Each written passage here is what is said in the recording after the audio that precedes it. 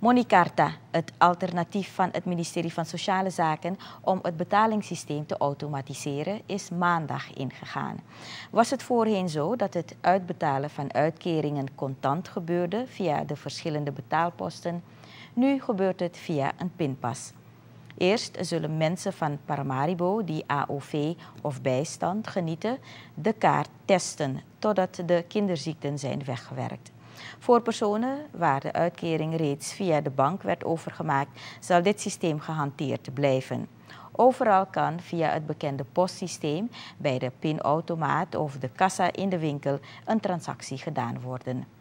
Het ministerie is samen met haar partners, de Surinaamse Postspaarbank, het Algemeen Ouderdagsvoorzieningsfonds en de afdeling Administratie, Uitbetaling, Sociale Voorziening tot dit systeem gekomen om de uitbetalingen zo efficiënt mogelijk te maken.